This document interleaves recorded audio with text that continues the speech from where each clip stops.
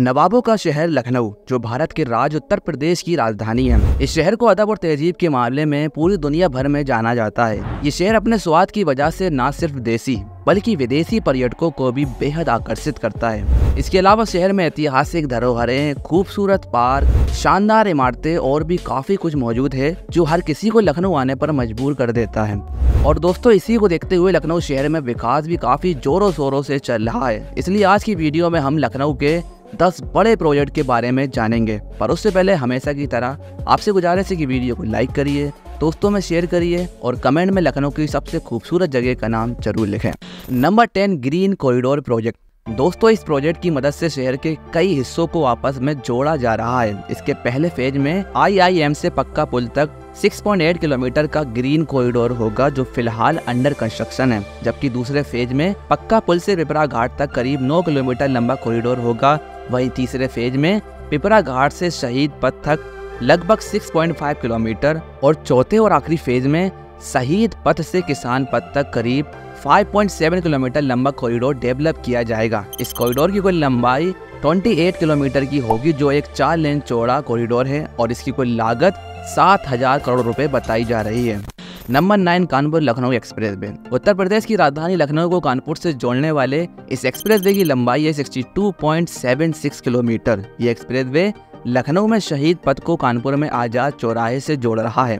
ये एक छह लेन चौड़ा एक्सिस कंट्रोल एक्सप्रेस वे है, जिसे फ्यूचर में लोड बढ़ने पर आठ लेन तक बढ़ाया जा सकता है। इस एक्सप्रेस वे का construction engineering procurement and construction model के तहत किया जा रहा है जिसकी टोटल एस्टिमेटेड कॉस्ट 4,700 करोड़ रुपए है। ये एक्सप्रेस वे ब्राउनफील्ड और ग्रीनफील्ड का मिक्सअप है। इस एक्सप्रेस वे की आधारशिला साल 2019 में रखी गई थी और इसे साल 2025 तक खोला जा सकता है। इस एक्सप्रेस वे का कंस्ट्रक्शन दो फ़ेज़ में पीएनसी इंफ्राटेक द्वारा किया जा रहा है जिसका वर्तमान में भूमि अधिग्रहण जारी है। और कंप्लीट होने के बाद इस एक्सप्रेस वे की मदद से लखनऊ से कानपुर 45 से 50 मिनट में पहुँच सकेंगे।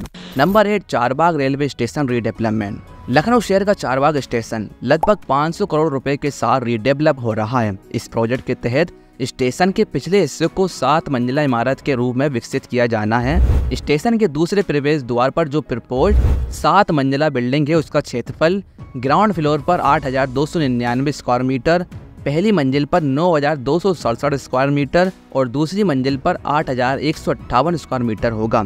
इसके बाद ऊपर की मंजिलों का क्षेत्रफल क्रमशः पाँच हज़ार नौ सौ चौबीस, पाँच हज़ार नौ सौ नौ, चार हज़ार आठ सौ पंद्रह, दो हज़ार एक सौ छिहत्तर और एक सौ पचहत्तर स्क्वायर मीटर होगा। चारबाग स्टेशन का रीडेवलपमेंट अमृत भारत स्टेशन योजना के तहत किया जा रहा है। रेलवे स्टेशन में आगमन और प्रस्थान को अलग अलग करने, नई लिफ्टों और एस्केलेटर की स्थापना फुट ओवर ब्रिज का निर्माण और बहुत कुछ नया देखने को मिलेगा।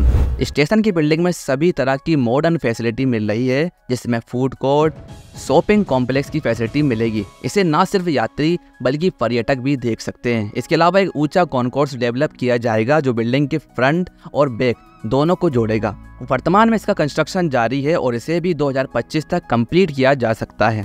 Number seven Lucknow airport new terminal यात्रियों की बढ़ती मांग को देखते हुए लखनऊ एयरपोर्ट के नए टर्मिनल पर वर्क चल रहा है, जो कि तीसरा टर्मिनल है। इस नए टर्मिनल का फ़ेज़ वन इस साल कंप्लीट होने के बाद हर साल 80 लाख पैसेंजर हैंडल किए जा सकेंगे, जबकि एक से डेढ़ साल बाद फ़ेज़ टू के कंप्लीट होते ही इस नए टर्मिनल की total capacity 1.3 crore passenger per annum हो जाएगी, जबकि पब्लिक लोड और डिमांड बढ़ते ही इसे एक्सपेंड भी किया जाएगा और टर्मिनल फोर पर वर्क भी होगा। इस नए टर्मिनल में e gates self baggage drop counter और नए लाउंजेस शामिल हैं। इसमें आसानी से डिजिटल यात्रा को बढ़ावा देने के लिए एक सुपर ऐप होगा। टर्मिनल थ्री में एक डेडिकेटेड ओला उबर और टैक्सी पिकअप और ड्रॉप ऑफ़ जॉन होंगे।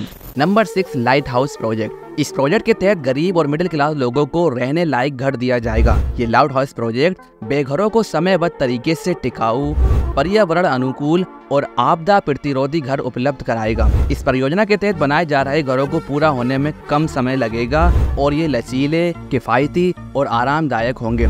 इन घरों को बनाने में फ्रांस, जर्मनी और कनाडा जैसे देशों की आधुनिक निर्माण प्रथाओं का यूज़ किया जाएगा। लखनऊ की अवध बिहार योजना में 131 करोड़ रुपए की लागत से बनने वाले लाइट हाउस प्रोजेक्ट के तहत एक हज़ार चालीस शहरी गरीबों को 415 स्क्वायर फुट क्षेत्रफल के फ्लैट मिलेंगे, जिसमें हर एक फ्लैट की वास्तविक लागत बारह लाख लाख उनसठ हज़ार रुपये होगी, जिसमें से सात लाख तिरासी हज़ार रुपये केंद्र और राज्य सरकार अनुदान के रूप में देगी, जबकि शेष राशि आर्थिक रूप से कमज़ोर वर्ग से संबंधित आवंटियों को वहन करनी होगी।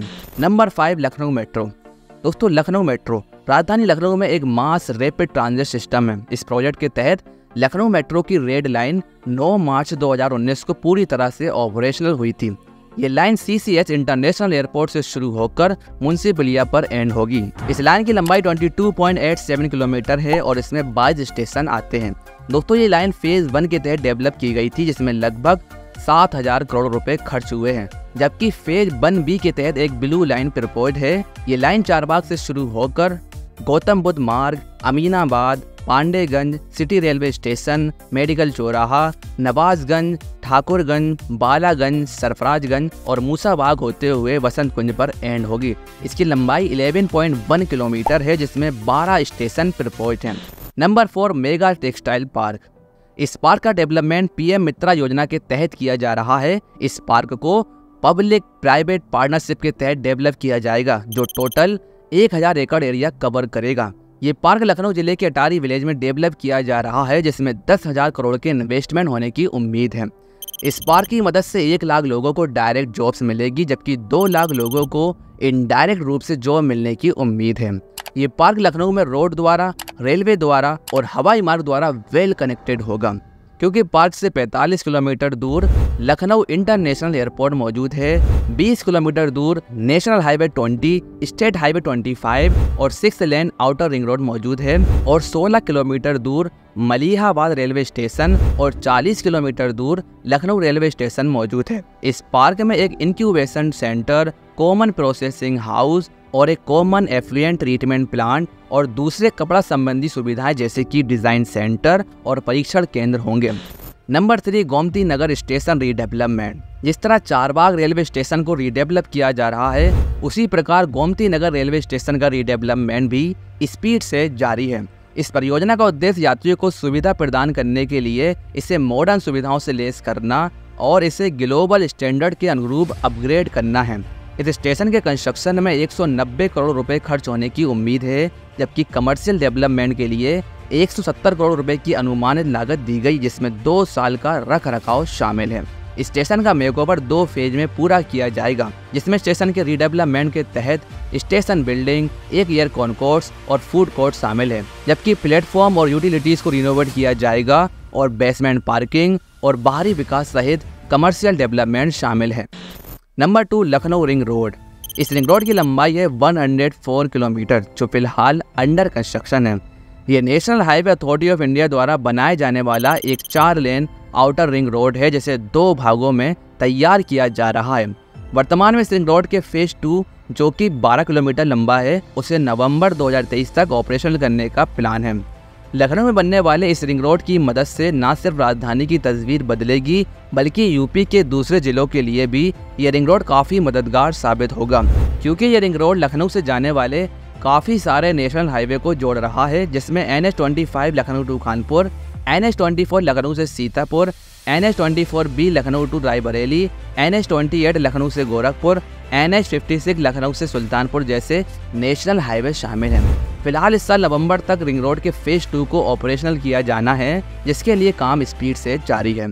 Number one artificial intelligence project, जैसा कि सभी को पता है कि उत्तर प्रदेश को वन ट्रिलियन डॉलर की इकोनॉमी बनाने का टारगेट है। इसी के तहत अब लखनऊ को देश का पहला एआई सिटी बनाने का प्लान है। आपको बता दें, पिछले दिनों ये खबर चर्चा का विषय रही है, क्योंकि लखनऊ वो शहर होगा जो पूरी तरह से आर्टिफिशियल इंटेलिजेंस से लेस होगा। इसका प्रस्ताव तैयार कर लिया गया है। बस प्रस्ताव पर सीएम योगी की हरी झंडी मिलने की देरी है। इसके लिए अमोसी एयरपोर्ट के पास 40 एकड़ की ज़मीन इसका केंद्र बनने जा रही है। इस परिवर्तन को साकार करने के लिए यूपी सरकार द्वारा तैयार किए जा रहे रोड मैप को पाँच व्यापक श्रेणियों में बांटा गया है, जिसमें बुनियादी ढांचे का निर्माण, एआई स्टार्टअप को सहायता प्रदान करना, एआई उद्योग की स्थापना डेटा एनालिटिक्स और उद्योग के लिए आवश्यक कुशल जनशक्ति प्रदान करना शामिल है। इस प्रोजेक्ट के कंप्लीट होते ही लखनऊ वासी अपने दैनिक जीवन में एआई का अनुभव करेंगे। इसका मकसद, जो लोग एआई की खोज में रुचि रखते हैं, ऐसे किसी भी व्यक्ति के लिए लखनऊ को देश में पहले स्थान पर लाना है। तो दोस्तों, ये थे लखनऊ के 10 मेगा प्रोजेक्ट। वीडियो पसंद आई है तो कमेंट में जय हिंद ज़रूर लिखें।